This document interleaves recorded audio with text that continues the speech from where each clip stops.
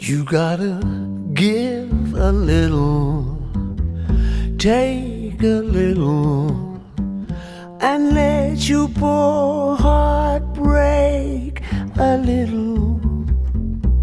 That's the story of, and that's the glory of love.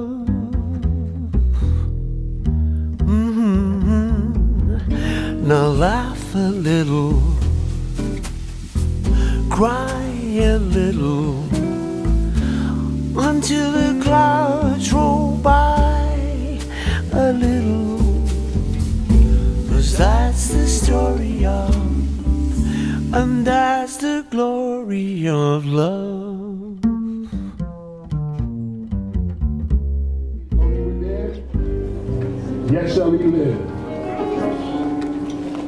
And whosoever liveth and believeth in me shall never die. For we know that God is a good God.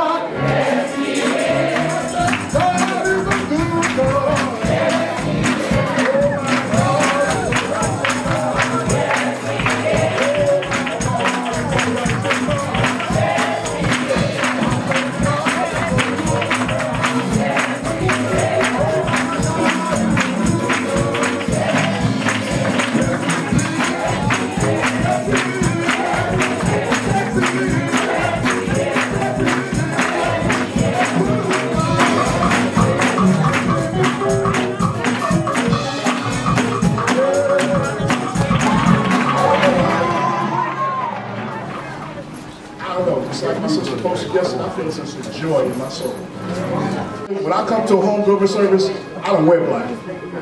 I'm sorry, I'm representing life. Because that's what we have in death. We have life.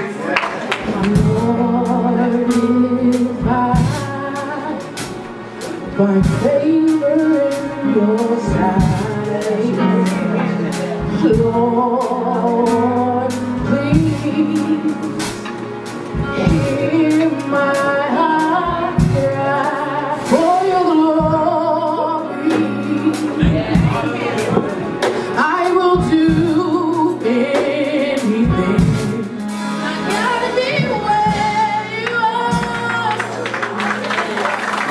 truly believe that was the heart of Aunt Patsy. She would do anything.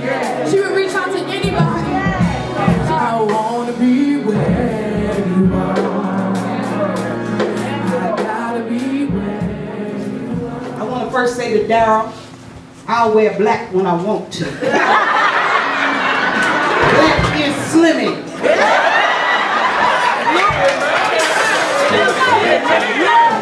packing what I'm packing, you put on some black. I'm here to celebrate my sister's life. I jumped rope with Patsy.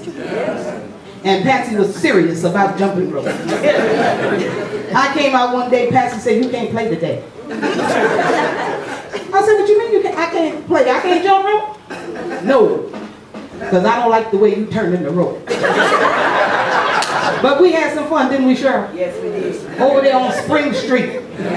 We played together. We prayed together. And if you mess with us, we fought together. All right? And when I came in here today, I went to Cheryl, I said, look at the diva. And now she's just a diva that's going on and completed the circle of life. She's going on to be with the Lord. I want to say to you, if you miss Patsy, look at her children. All right. She's in every one of them. She would want you to rejoice today. And we know the suffering that went on. But suffering endured for a night, but joy coming on. And so it's morning time.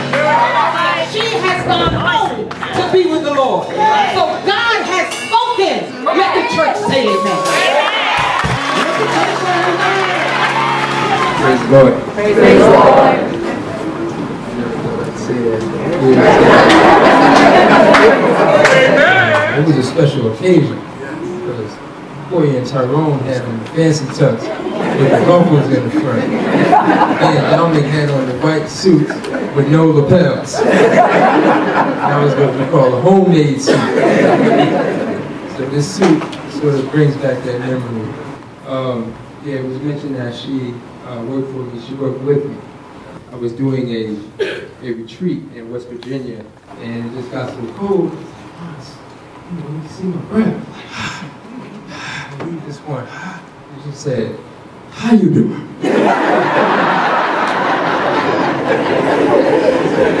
Where that came from, I don't know. I'll go ahead and uh, read my poem. You babied me and even whooped me, what a mother is supposed to do. It shaped and molded me, I will never forget you. In college, to join a fraternity, perhaps looking for love and joy.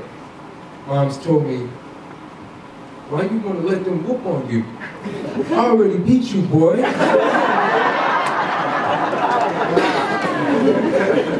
Bethlehem Temple Church.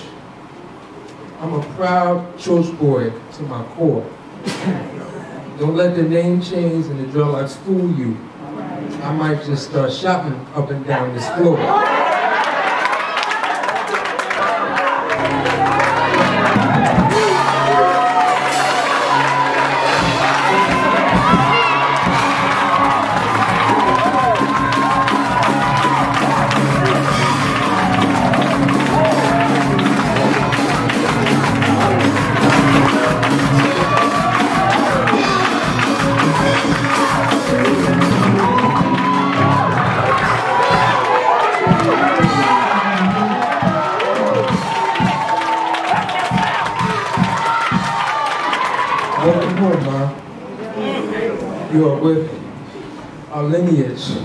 Grandma Dee had 15 children. And she was a slave. So we come from greatness. So thankful. We got married. Had another child.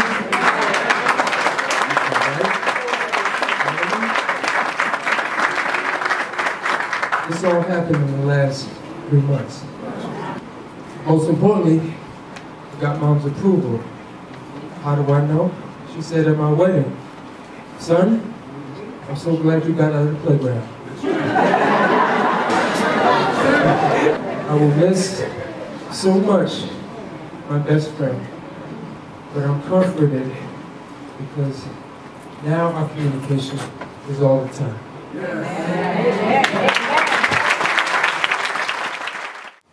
It was so easy to love her. I would watch my mom. I would observe her a lot because I'm not the friendliest person, you know?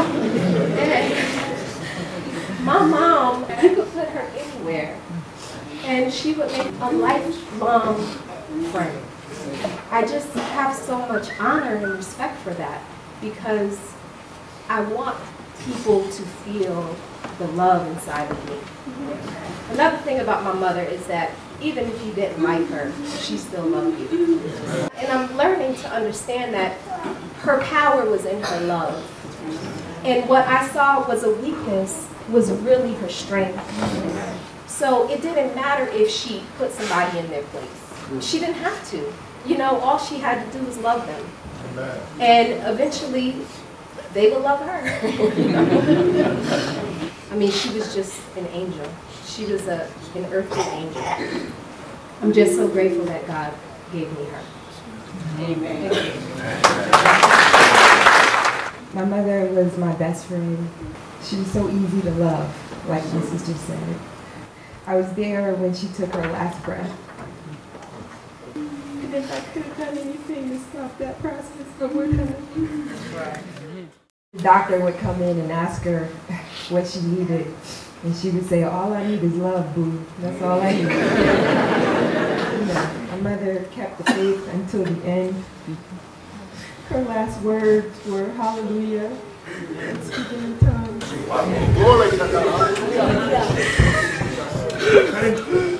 During her last week, you know, the nurses would come in and she would just look at them and break out speaking in tongues. and they would look at me and I would just say, she's praying, don't worry about it. My mother led me to all I will ever need to get through this world. Through health and sickness, she smiled. She taught me to love. She taught me faith. And I have faith in love. Thank you. Amen.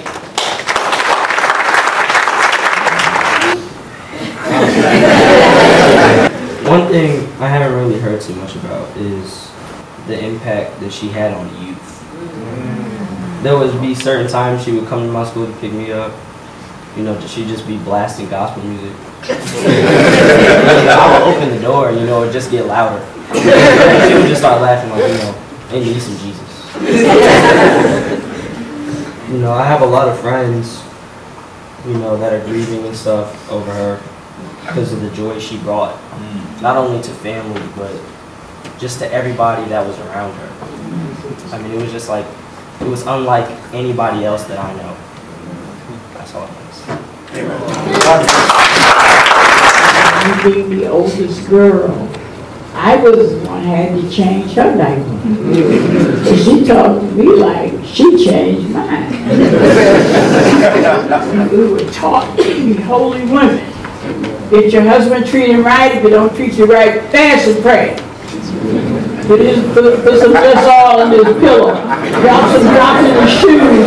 Then you come home and stay home. You all pray for me. Pray for me. In Jesus' name. And we was in the backyard. We was to play golf with rocks. she swung and she missed the rock. I said, give me that. And when I swung that golf club hard as I could, y'all see that little scar she got there on her head? That was for me. I, I, was, I got so scared. Because I know I was going to get my butt whooped. Mama took her to the doctor and told her another half an inch and she would been blinded for life. Mom didn't whoop me.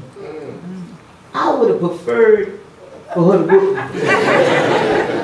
For them blank stares. I, I would have took the whoop. But I became Patsy's servant. From that day on. So that's where that come from, Chad. I'm really gonna miss my sister. But y'all pray for us. Amen take a minute here to unlock my iPad. Hold on. Don't ask me why I got it locked up.